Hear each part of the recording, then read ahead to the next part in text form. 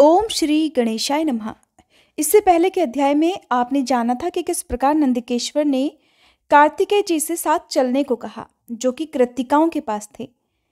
श्री नारायण जी कहते हैं, नारद, शंकर सुवन कार्तिकेय नंदिकेश्वर से ऐसा कहकर कि मैं भी आपके साथ चलता हूँ, शीघ्र ही कृतिकाओं को समझाते हुए नीतियुक्त वचन में बोले। माताओं, मैं देव समुदाय बंधु वर्ग और माता को देखना चाहता हूँ इसलिए शंकर जी के निवास स्थान पर जाऊँगा। इसके लिए आप लोग मुझे आज्ञा प्रदान करें।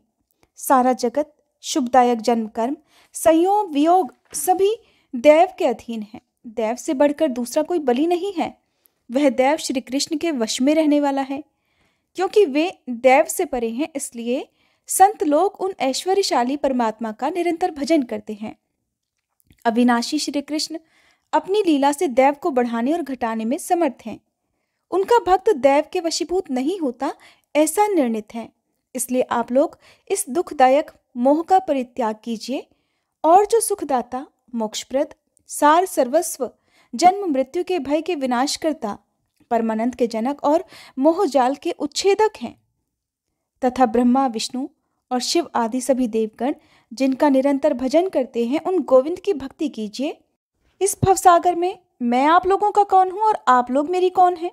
संसार प्रवाह का वह सारा कर्म फेन की तरह पूंजीभूत हो गया है। वस्तुतः वह किसी का नहीं है। संयोग या वियोग ये सब ईश्वर की इच्छा से ही है।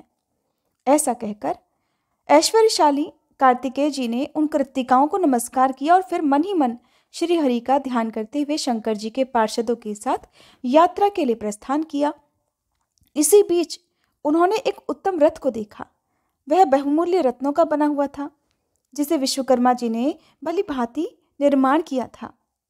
उसमें स्थान स्थान पर माणिक्य और हीरे जड़े गए थे, जिससे उसकी अपूर्व शोभा हो रही थी। पारिजात पुष्पों की माला से वह सुशोभित था।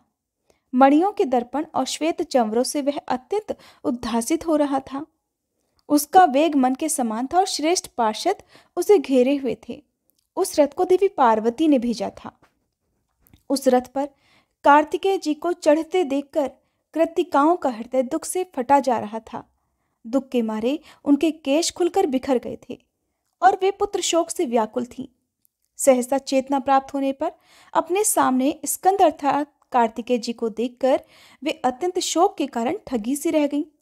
फिर वहीं भयवश उन्मत्त की तरह कहने लगी, हाय, अब हम लोग क्या करें? कहाँ चली जाएँ? बेटा, हमारे आश्रय तो तुम ही हो। इस समय तुम हम लोगों को छोड़कर कहाँ जा रहे हो? ये तुम्हारे लिए धर्म संगत बात नहीं है। हम लोगों ने बड़े स्नेह से तुम्हें पाला पोसा है। इसलिए तुम धर्मानुसार हमारे पुत्र हो। भला उपयुक्त पुत्र मात्र वर्गों का परित्याग कर दे, ये भी कोई धर्म है? ऐसा कहकर सभी कृतिकाओं ने कार्तिकेय जी को अपने सीने से लगा लिया और पुत्र वियोग जन्य दारुण दुख के कारण वे फिर से मूर्छित हो गई।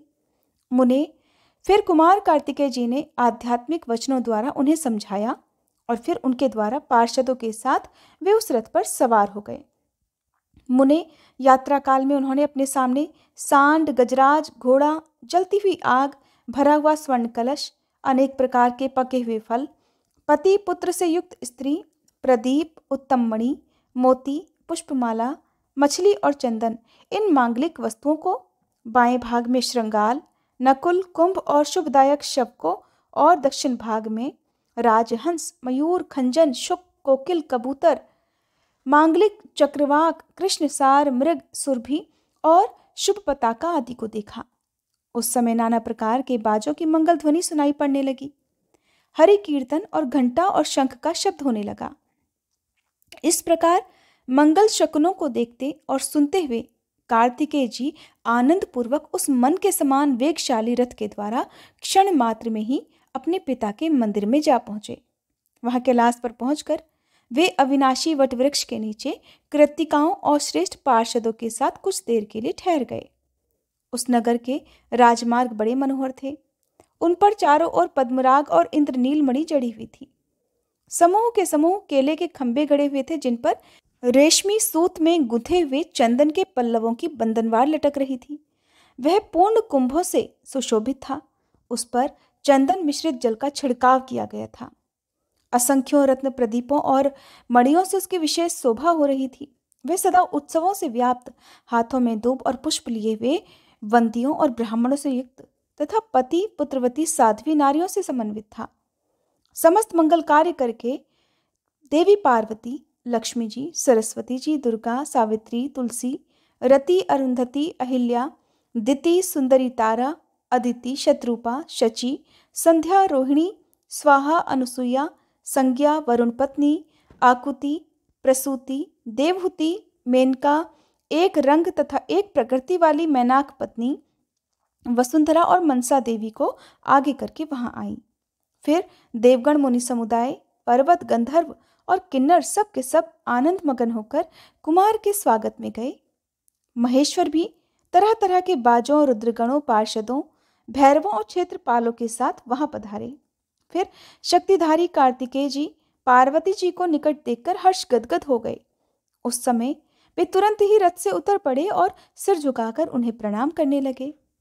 तब पार्वती जी ने कार्तिकेय को देखकर लक्ष्मी आदि देवियों मुनि पत्नियों और शिव आदि सभी से यत्नपूर्वक परम भक्ति के साथ संभाषण किया, अर्थात वार्तालाप किया और उन्हें अपनी गोद में उठाकर वे चूमने लगी। फिर शंकर जी, देवगण, पर्वत, शैलपत्नियों, पार्वती जी आदि देवियों तथा सभी मुनियों ने कार्तिकेय जी को शुभाशीर्वाद दिया।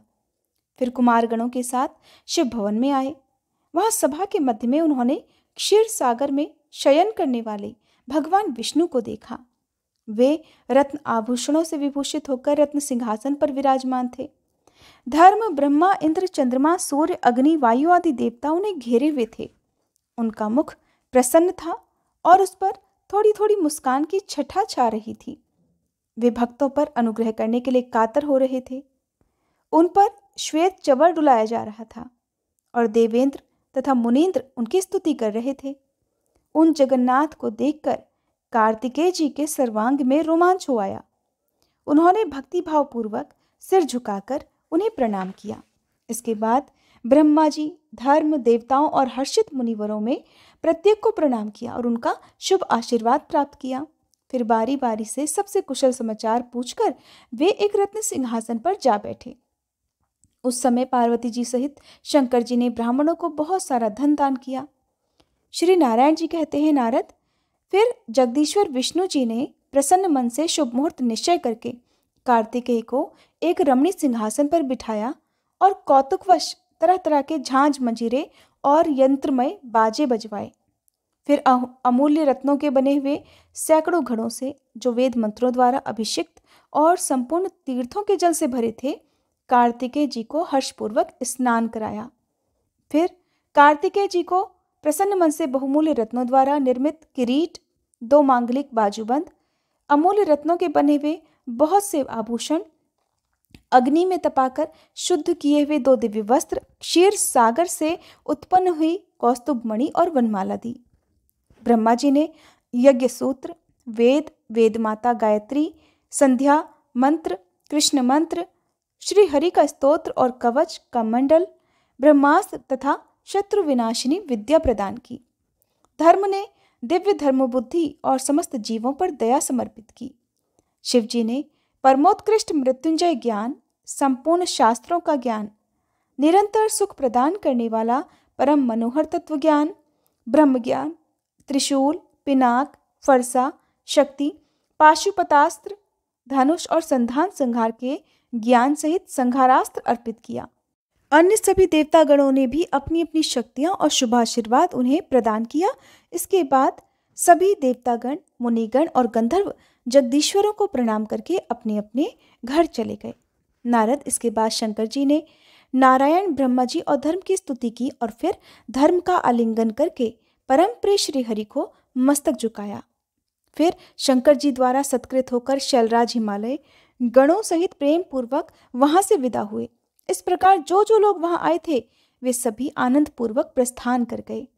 तब महेश्वर देवी पार्वती जी के साथ बड़े आनंद से वहाँ रहने लगे। कुछ समय बीतने के बाद शंकर जी ने पुनः उन सभी देवों को बुलाकर विवाह विधि के अनुसार पुष्टि को महात्मा गणेश के हाथों समर्पित कर दिया। इस प्रकार दोनों पुत्रों तथा गणों के साथ रहती हुई पार्वती जी का मन बड़ा प्रसन्न था। जब सभी देवता गणों द्वारा कार्तिकेय जी का अभिषेक कराया जा रहा था, उस समय प्रजापति ने देवसेना को, जो रत्नाभरणों से विभूषित, परम विनीत, उत्तम शीलवती, मन को हरण करने वाली अत्यंत सुंदरी थी, जिसे विद्वान लोग शिशुओं की रक्षा करने वाली महाष्ठी भी कहते हैं, वैवाहिक विधि के अनुसार वेद मंत्रोच्चार पूर्वक कार्तिकेय जी को अर्पित कर दिया। नारद, इस प्रकार मैंने देवताओं का समागम, पार्वती जी को पुत्र प्राप्ति कुमार कार्तिकेय का अभिषेक, उनका पूजन और विवाह तथा गणेश जी का विवाह, ये सारा वृतांत वर्णन कर दिया। अब तुम्हारे मन में कौन सी अभिलाषा है? फिर और क्या सुनना चाहते हो? नारद जी ने पूछा, महाभाग नारायण, आप तो वेद वेदांगों के पारगामी विद्वान हैं। परमेश्वर, मैं आपसे एक बहुत बड़े संदेह का समाधान करना चाहता हूँ।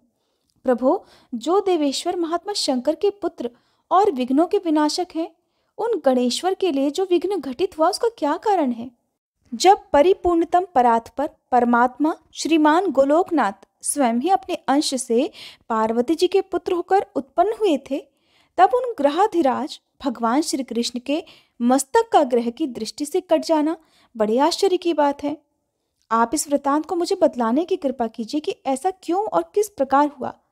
श्री नारायण ने कहा, हे ब्राह्मण विघ्नेश्वर का यह विघ्न जिस कारण से हुआ था, उस प्राचीन इतिहास को तुम सावधान होकर सुनो। नारद एक समय की बात है। भक्त वत्सल शंकर जी ने माली और सुमाली को मारने वाले सूर्य पर बड़े क्रोध के साथ त्रिशूल से प्रहार किया।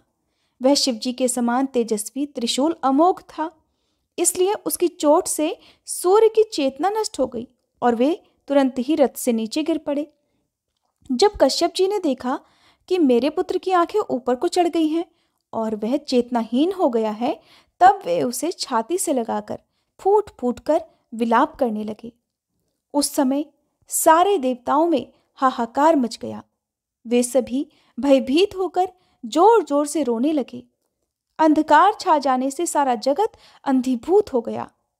तब ब्रह्मा जी के पौत्र तपस्वी कश्यप जी, जो ब्रह्म तेज से प्रज्वलित हो रहे थे अपने पुत्र को प्रभाहीन देकर शिवजी को शाप देते हुए बोले, जिस प्रकार आज तुम्हारे त्रिशूल से मेरे पुत्र का वक्ष स्थल विदीर्ण हो गया है, हे शिव, उसी तरह तुम्हारे पुत्र का मस्तक भी कट जाएगा।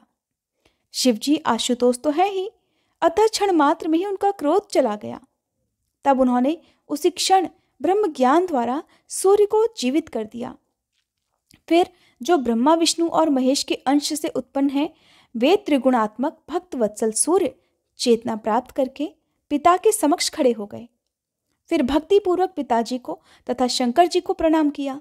साथ ही पिता द्वारा किए गए शंभु के शाप को जानकर वे कश्यप जी पर ही क्रुद्ध हो गए, जिससे उन्होंने अपने विषय को ग्रहण नहीं किया और क्रोध में आकर यूँ कहा कि ईश्वर के बिना ये सब कुछ तुच्छ, अनित्य और नश्वर है। इसलिए विद्वान को चाहिए कि वे मंगल कारक सत्य को छोड़कर अमंगल की इच्छा कभी ना करे। इसलिए अब मैं विषय का परित्याग करके परमेश्वर श्री कृष्ण का भजन करूँगा। यह सुनकर देवताओं ने ब्रह्मा जी को प्रेरित किया। तब उन प्रभु ने शीघ्रता पूर्वक वहाँ पधार कर सूर्यदेव को समझाया और उन्हें उनके कार्य पर नियुक्त किया।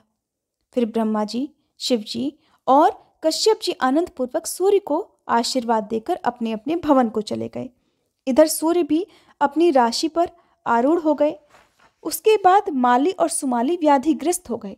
उनके शरीर में सफ़ेद कोड़ हो गई, जिससे सारा अंग गल गया, शक्ति जाती रही और प्रभा भी नष्ट हो गई। तब स्वयं ब्रह्मा जी ने उन दोनों से कहा कि सूर्य के कोप से ही तुम दोनों हतप्रभ हो गए हो और तुम्हारा शरीर भी गल गया है, इसलिए तुम लोग सूर्य का ही भजन करो। फिर ब्रह्मा जी उन दोनों को सूर्य देव का कवच, स्तोत्र और पूजा की सारी विधि बतलाकर ब्रह्मलोक को चले गए। फिर वे दोनों पुष्कर में जाकर सूर्यदेव का भजन करने लगे। वहाँ वे तीनों काल अर्थात सुबह, दोपहर, शाम स्नान करके भक्ति पूर्वक उत्तम सूर्य मंत्र के जप में तल्लीन हो गए। फिर समय अनुसार सूर्यदेव से वरदान पाकर वे पुनः अपने असली रूप में आ गए। इस प्रकार नारद, मैंने ये सारा वृतांत वर्णन कर दिया अब और क्या सुनना चाहते हो? तब नारद जी ने श्री नारायण मुनि से जो कुछ भी पूछा, उसका वर्णन आप अगले अध्याय में सुनेंगे। अगर आपको ये वीडियो पसंद आई हो तो प्लीज़ वीडियो को लाइक ज़रूर कीजिएगा।